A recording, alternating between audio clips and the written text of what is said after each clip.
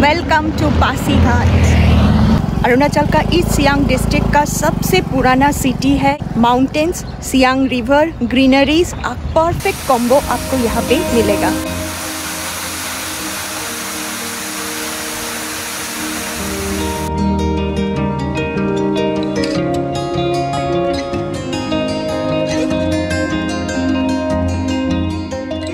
Hello friends मेरा एक नया जानी में वेलकम आज का वीडियो, चलिए शुरू करते हैं रोड ट्रिप से from Dibrugarh to the beautiful oldest town of Arunachal Pradesh Pasighat अभी मैं हूँ इंडिया का longest rail cum road bridge Bogibeel bridge में। डिब्रूगढ़ से हम लोगों को ये बोगीबिल ब्रिज में आने के लिए आधा घंटा जैसा लगा। डिब्रूगढ़ से पासीघाट जाने के लिए आपको ये थ्रू बोगीबिल ब्रिज ही जाना पड़ेगा। It's four point nine four kilometre long rail cum road bridge पे जो दिखाई दे रहा है, वो है ऑलमाइटी बम्बापुत्रा डिब्रूगढ़ से पासीघाट का डिस्टेंस तो दिखा रहा है by car it's four hours so let's see कितना टाइम लगता है।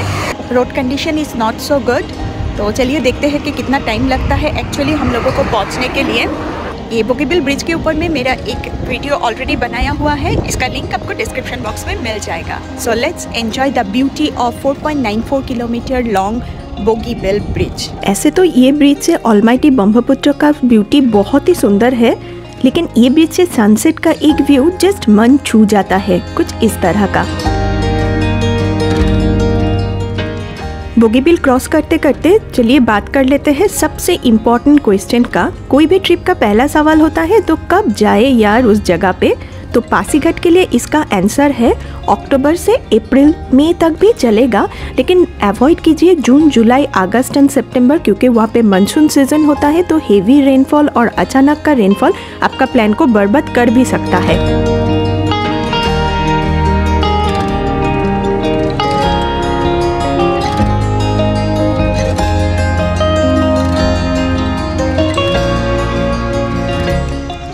जाते जाते रास्ते में तो थोड़ा भूख लग गया तो आगे है माई हंक रेस्टोरेंट पे। बोगीबिल क्रॉस करके थोड़ा दूर जाते ही मिलेगा ये माई हंक रेस्टोरेंट जहाँ पे आपको tasty and authentic Assamese cuisine मिलेगा। सो so, यही प्लेस मैं चूज़ किया लंच के लिए। माई हंक में लंच करके अभी निकल पड़े पासीघाट के लिए। अकॉर्डिंग टू गूगल मैप यहाँ से टू आवर्स का जैसा जर्नी दिखा रहा है। In kilometre it's near about hundred kilometre Bogibeel cross करने के बाद ही रास्ता दोनों साइड पे चला गया, एक गया नॉर्थ लखीमपुर के तरफ़ में और हम लोग आ गए पासीघाट के साइड में। अभी हम, मैं क्रॉस कर रही हूँ लेकाबाली चलिए आप लोगों को लेके चलते हैं पासीघाट लेकिन जाते जाते आप लोगों को बता देती हूँ कि कैसे आ सकते हैं आप ये पासीघाट थ्री ऑप्शंस आपके पास है by train by flight and by road Pasighat से सबसे पास वाला रेलवे स्टेशन का नाम है मुरकोंग सेलेक्ट जो 35 किलोमीटर दूरी पे है पासीघाट से, जहाँ पे जाने के लिए डिब्रूगढ़, गुवाहाटी या तो फिर ईटानगर से आपको ट्रेन मिल जाएगा। मुरकोंग सेलेक्ट स्टेशन से आपको बस या टैक्सी मिलेगा डायरेक्टली पासीघाट जाने के लिए। सेकेंडली बाई फ़्लाइट पासीघाट से सबसे पास वाला एयरपोर्ट है डिब्रूगढ़ एयरपोर्ट नेक्स्ट है गुवाहाटी एयरपोर्ट जो कि वेल कनेक्टेड है with major cities Dibrugarh and Guwahati airport से रेल या फिर बाई रोड आप आराम से पासीघाट पहुँच सकते हैं। पासीघाट में एक छोटा सा रीजनल एयरपोर्ट भी है, जो डिब्रूगढ़ एयरपोर्ट से हेलीकॉप्टर सर्विस भी आपको मिलेगा वाया ईटानगर। किसी भी बुकिंग साइट में इसका डिटेल्स आपको मिल जाएगा। Last option is by road जो मैं अभी जा रही हूँ। Major cities like Dibrugarh Guwahati Itanagar Lakhimpur से फ्रिक्वेंट बस सर्विस आपको मिल जाएगा। नहीं तो फिर कार भी हायर कर सकते हैं विथ ड्राइवर या तो फिर सेल्फ ड्राइविंग कार भी अवेलेबल है। और रास्ता का नज़ारा आपके सामने। सो so डिसीशन आपका। आप कौन सा रास्ता चूज़ करेंगे पासीघाट आने के लिए। फाइनली पहुँच गए अरुणाचल बॉर्डर यहाँ पे एक बहुत ही इंपॉर्टेंट इन्फॉर्मेशन शेयर करती हूँ। अरुणाचल में एंट्री के लिए आपको इनर लाइन परमिट चाहिए। जो आप ऑनलाइन अप्लाई कर सकते हैं। जिसके लिए आपको चाहिए एक रिसेंट फ़ोटो स्कैन पासपोर्ट या तो फिर पैन कार्ड और वोटर आई कार्ड एक फॉर्म फिलअप करना है। और ऑनलाइन पेमेंट है। Hundred rupees per person detailed information का लिंक आपको डिस्क्रिप्शन बॉक्स में मिल जाएगा। Now here I am. Welcome to Smart City Pasighat, the gateway to enchanting Siang, only 12.4 km. Entry लेते ही एक ओल्ड सिटी का ही वाइब्स आया।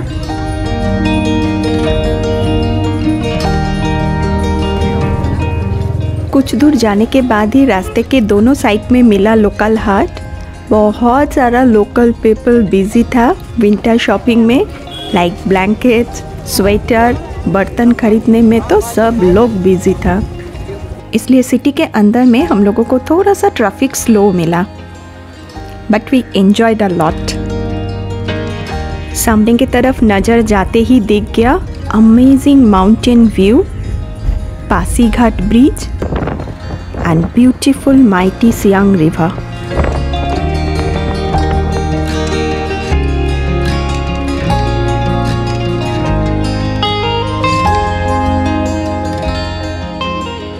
beautiful Pasighat bridge होके मेरा रास्ता अभी जा रहा है मेरा बुक्ड प्रॉपर्टी के तरफ़। अभी आते हैं स्टेइंग ऑप्शन के तरफ़। Limited hotels and home stay option आपको कोई भी बुकिंग साइट में मिल जाएगा। लेकिन मुझे सिटी लाइफ से थोड़ा दूर नेचर के अंदर में रहना था दो दिन। इसलिए मेन रोड से एकदम कच्चे रास्ते में जा रही हूँ मेरा कैंप के तरफ़। मेरा प्रॉपर्टी ओनर रिपीटेडली बोला था कि बिफोर सनसेट आपको पहुँचना ही है। अभी समझ में आ रहा है क्यों? नेचर के अंदर में रहना है तो प्रोबेबली इसी तरह का रास्ते से ही मिलेगा जन्नत। तो चलिए जाते हैं मेरे प्रॉपर्टी की तरफ़।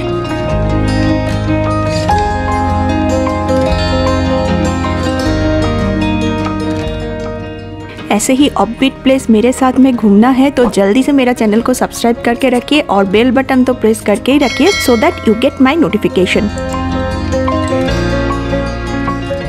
ये पहुँच गए प्रॉपर्टी का फ़र्स्ट गेट में। ऐसे दो किलोमीटर जैसा कच्चा रास्ते से आने के बाद ये फाइनली है मेरा प्रॉपर्टी का main entrance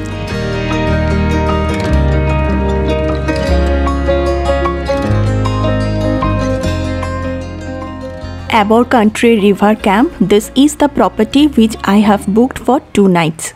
And this is just a panoramic view after entering in the parking area. पाँच घंटे का जाने के बाद गाड़ी से उतरते हैं ये एक व्यू जस्ट पूरा टायर्डनेस को बाय बाय कर दिया व्यू एंड प्राइस के हिसाब से बहुत सारा कैटेगरी का रूम यहाँ पे अवेलेबल है। डिटेल्स पता करना है तो नीचे डिस्क्रिप्शन बॉक्स में तो डेफिनेटली आप लोगों को लिंक मिल जाएगा। ये है हम लोगों का property sea view cottage room number two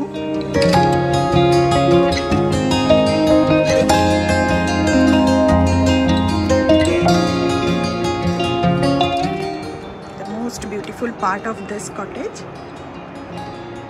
Here is the balcony. Balcony से आपको एक पूरा ऑलमाइटी सियांग रिवर का व्यू नज़र आएगा। यहाँ पे बैठ के चाय पीने का तो एक मज़ा ही आ जाएगा।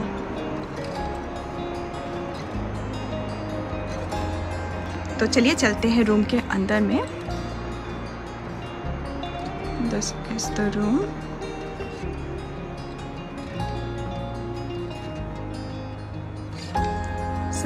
cosy and nice one यहाँ पे जितना भी मटेरियल्स यूज़ किया है वो टोटली इको फ्रेंडली है। वुड स्टील या तो फिर आयरन मटेरियल का ही बनाया हुआ है। If you look every furnitures and all ये सब ही इको फ्रेंडली वुड से बनाया हुआ है। Maximum the thing the bathroom area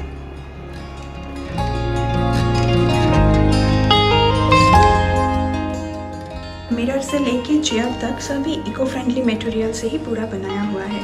और यहाँ का जो वाटर सप्लाई है, वो डायरेक्टली सीएम रिवर से ही आता है। उसका पानी ही यूज़ होता है।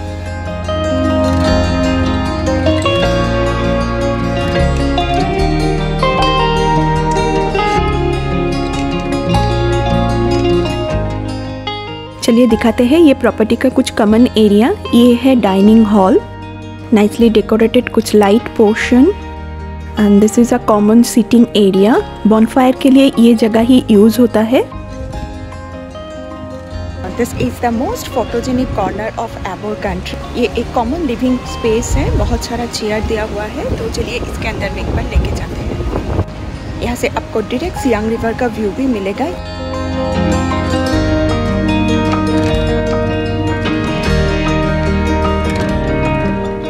अगर आप रिवर व्यू रूम नहीं भी लेते हैं तो ये कॉमन एरिया से एक perfect Siang river with mountain का व्यू एंजॉय कर सकते हैं।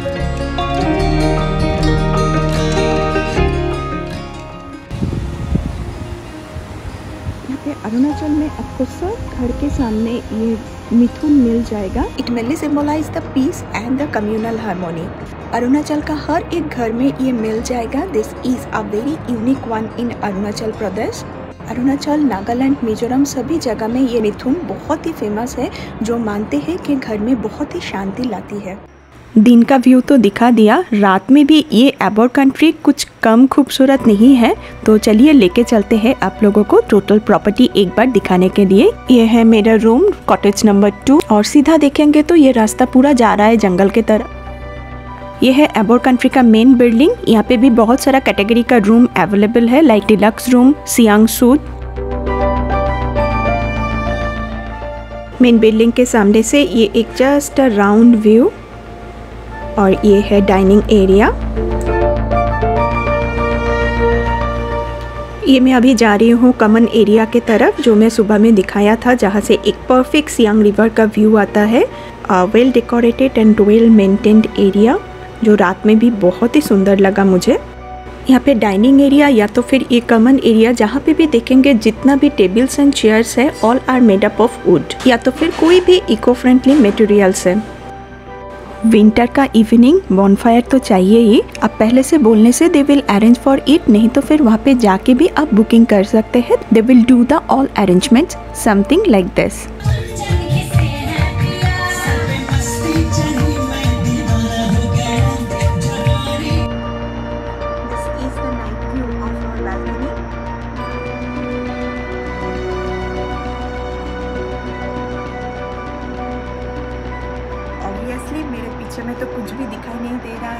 जो सुनने में आ रहा है वो है सियांग रिवर का sound it's really mind blowing ऊपर में सितारा कुछ भी दिखाई नहीं दे रहा है और बैकग्राउंड में आ रहा है सियांग रिवर का कंटिन्यूस फ्लोइंग रिवर का sound it's just mind blowing